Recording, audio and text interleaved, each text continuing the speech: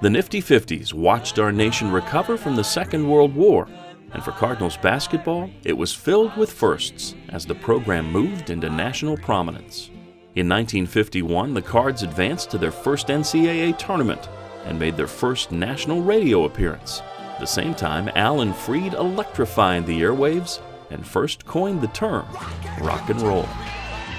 Epics like Ben Hur and the Ten Commandments, science fiction flicks like War of the Worlds, Hitchcock thrillers, and James Dean and Marilyn Monroe lit up the silver screen.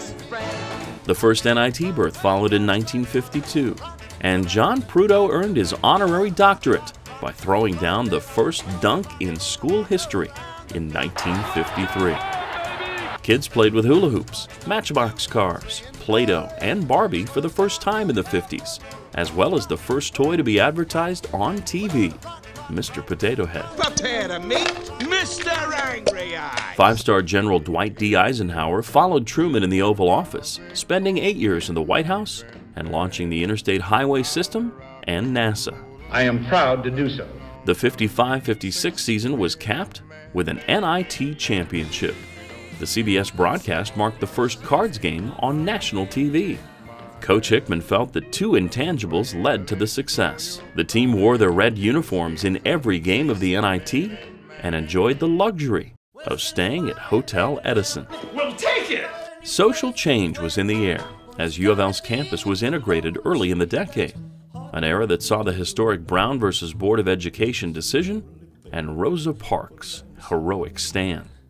Johnny Unitas traded his Cardinals uniform for some NFL togs and was part of an amazing era of athletics, joining legends like Hank Aaron, Jim Brown, Gordie Howe, Pele, and Sugar Ray Robinson. Mm, they're good. Good, good, good. On December 22, 1956, Charlie Tyra's 40 points led the Cards to a win over Notre Dame in the first Louisville game at Freedom Hall.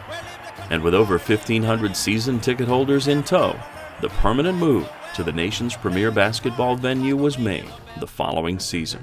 Bestseller lists were topped by The Chronicles of Narnia, Lord of the Flies, and Catcher in the Rye, while Ian Fleming introduced us to Bond. James Bond.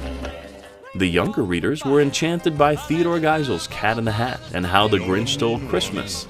And Charles Schulz brought Charlie Brown, Snoopy, and the Peanuts Gang to life. More changes to the rulebook improved play as the one and one free throw was introduced.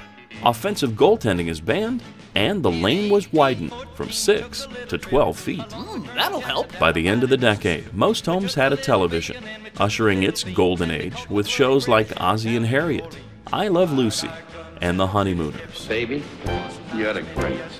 In 1959, the Cardinals advanced to their first Final Four, falling to Jerry West's West Virginia team in the semis and Oscar Robertson's Cincinnati Bearcats in the consolation game at Freedom Hall, the second of what would be six Final Fours to be held at the fairgrounds.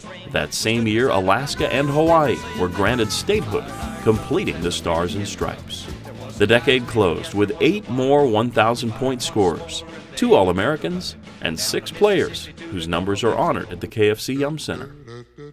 And where would the program be without the NIT Championship MVP Charlie Tyra? His number eight has been retired, and he still stands fourth in NCAA history in single season rebounds, ninth in career boards, and his single game school record of 38 caroms is 12th all time. A landmark decade for the red and black left their voracious fans hungry for more. Good night, sweetheart. Well, it's time to go home. Good night, sweetheart. Well, it's time to go home. I hate to leave you. I really